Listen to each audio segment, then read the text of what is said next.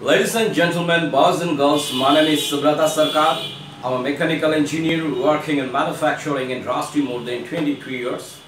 Today, I'm going to discuss with you, uh, you know, an important, a very serious social problem that is suicide. Why people do suicide, how we can prevent it actually, all discuss because this problem is there in all countries. You know, many people have some myths about the suicide actually. Some people say those who talks about killing themselves for suicide, they will never do the suicide. This is wrong actually. And many people say, you know, the suicide is among you know, different class of the people, a different category of the people, they commit suicide. It is also not true actually. People from all level of the society committing suicide, you know. And some people think that when some people talk about suicide or something, this topic is discussing, so we should not continue this topic because this is a negative topic. We should divert this topic actually. That is also totally wrong concept actually. Need to understand what the person is talking about and what is their intention in his mind actually, what he's thinking, you know. You know, in present day, as on 2017 global data, 1 million people are dying each year globally uh, only through you know, for suicide actually. And if we talk about in general the percentage of the people die, you'll find that uh, on an average 2% people are dying by suicide, committing suicide. You can see there is a you know, graph projection or you can say the suicide global map. Here you can see the different countries has a different rate actually, the rate of the people committing suicide like one uh, in one lakh people, how many people commit suicide on an average? For example, say in US, uh, 11 on an average, say Canada 16, in India also 11. So, so that is, is, is the data is there and everywhere this uh, you know, suicide is committing to the people. And day by day, for a lot of reason actually, it is increasing actually. And if we talk about India, do you know in every hour, one student in India commits suicide. So which is a very, very pathetic and unfortunate figure actually. And this problem, as I said, it is not with India actually, it is with all the countries, all developed countries, developing countries, each and every country. If we talk about the UK, in UK in 2016, the total number of the people, you know, died due, uh, committing by committing suicide, rather you can say, around 5,700 people, and and you know the proportion is that 75% are male and 25% are female. That is some there are some other reason or explanation of it actually. And you know if we talk about the bangladesh also like in 2017 total number of the you know uh, people committed suicide around 470 uh, so then day by day if we uh, see the statistics of the uh, previous year day by day this uh, this increasing if we talk about the australia there is also people are committing a lot of suicide and you know, uh, as same as UK, there is a male uh, committing more suicide than the female. If we talk about India, in 2016, the total number of people committed suicide around 9,500. So day by day, this suicide is increasing. And if we uh, know this, uh, analyze the data on the age, on the basis of the age, like which age range of people are doing more suicide actually. So find that people around, you know, 15 to 30 years of age, they are committing more suicide. Like students comes from, uh, majorly under this and, uh, you know, the, the, newly married couples are also, uh, comes under this actually. So these are the data actually which is very, very unfortunate and uh, unhealthy for this society. And one of the major area, and most important area is students are committing suicide actually. But if we, many people think that, you know, students are committing suicide because they are not getting good marks. That is the main reason actually, but that is not the reality. Reality is that statistics say that, you know, only 12% students are committing suicide because of not getting good marks or score or failing the examination. But there are some other reason actually.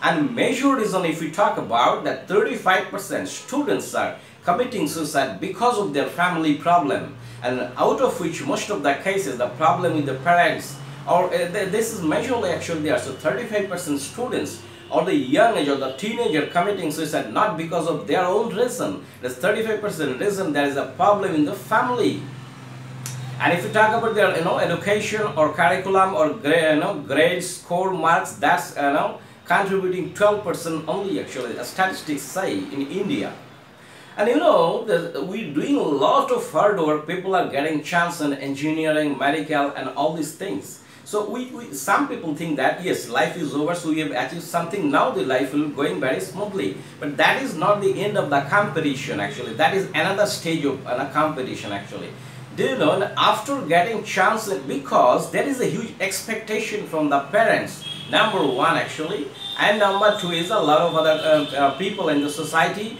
and the professors and the uh, teachers. They also have a lot of expectation on the students and they review that and when the students cannot achieve this for some reason they uh, know a few of them commit suicide you know the people who are uh, getting chance in even IIT like you know India's top uh, engineering colleges after going there even also students are know, doing suicide only because they are not uh, doing good uh, marks in different semester and etc. So what is this actually? This is because major responsibility goes to the parents actually and the second responsibility goes to the teachers. So this is the things actually in our society we should address is actually and, and we are always you know, you know, putting our uh, students in the competition on the race actually. And because they are not the horse to win actually they are also human beings they have also got you know emotions and other things actually and they are not so matured enough. So as a parents we have a huge responsibility to understand and tackle the things. And we should see the life you know you know in all respects not just getting the marks in you know in, school colleges and degree. That's not the life actually and to you know acquire these people are killing themselves so what is the use of all these things and if we, you know, when we talk about the prevention of the suicides, we also need to have a basic understanding like which are the methods as per statistics say that uh, people are, you know, choosing for committing suicide. It is said that around 30% people committing suicide in India by jumping from, you know, have a rise building and 32% are committing suicide by hanging and around 18% people are committing suicide by taking some you know overdose medicine sleeping pills uh, etc actually. But why people commit suicide? If we talk there are three four major reasons actually. Number one is something grossly wrong in their life whether in their own personal life or their, you know their family life something majorly you know wrong actually and which uh, cannot be you know solved in a normal and a social uh, you know you know social environment actually. This type of some major problem actually people are not you know cannot handle actually what things to, needs to be done. Even some cases problems are such that they cannot even you know feel to discuss with somebody actually and number two is that as I say is the extension of the number oh, point one that is inability to handle the troubles some people you know it, it, it depends on the you know uh, people's uh, emotional stability also that inability to handle the trouble. Many trouble comes in our life actually. That is normal. That is what is life actually.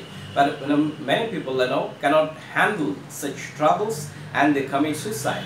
And some cases, you know, the people take impulse decision. Those who are emotionally very unstable, uh, they for some reason, some reason is triggering, and they take some impulse decision and commit suicide actually. So all these things are actually the you know, trigger for uh, committing uh, suicide.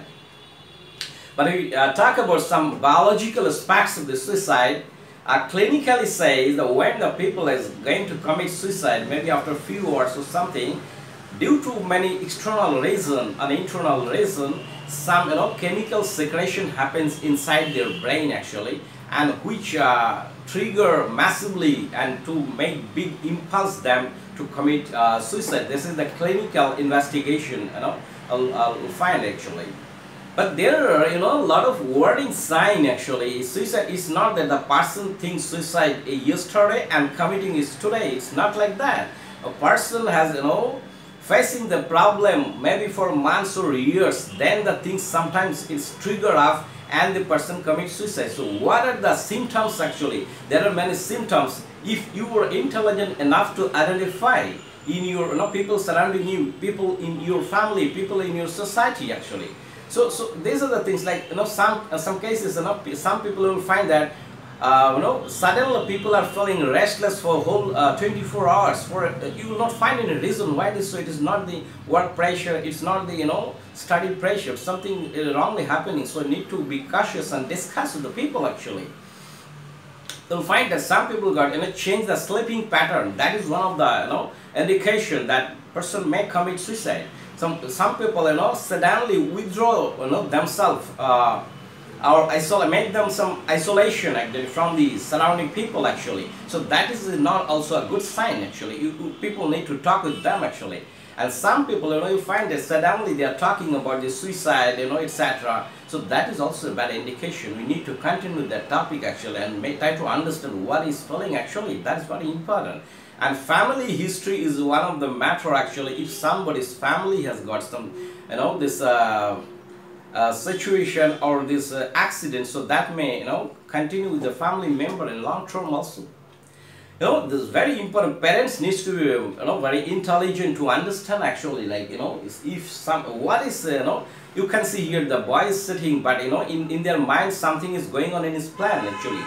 So parents needs to be very very intelligent to understand what their you know kids or the you know children are thinking of they need to mix with them very much. That is very very important which is uh, missing today actually.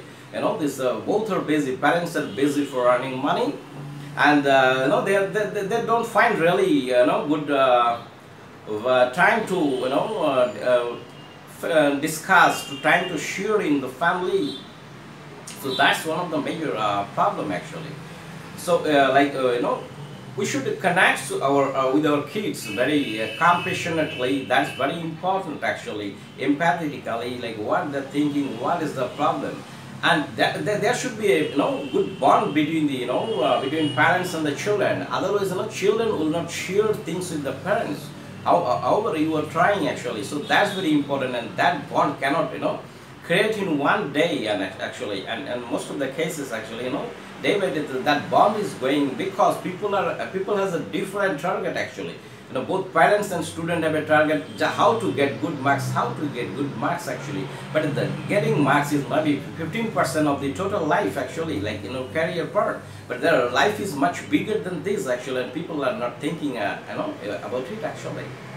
So so that that's very important actually. And if you find that some symptoms like i'm saying if you find some symptoms among the people surrounding you in your family or something actually. So you uh, most important point is you should make them feel that they are not alone we are with them. Whatever they are we will accept them. So make them understood this. That's very very actually important. And nowadays you'll find it there are national you know there's a helpline also. If you find that they, i have understood i'm saying some you know symptoms in that person but i'm not handle how to control this. So there are you know ngos for them there are you know helpline for them we can uh, talk about. So that's very important actually to address these uh, social problems. So find this presentation is important. I would say you can share this presentation as much as possible.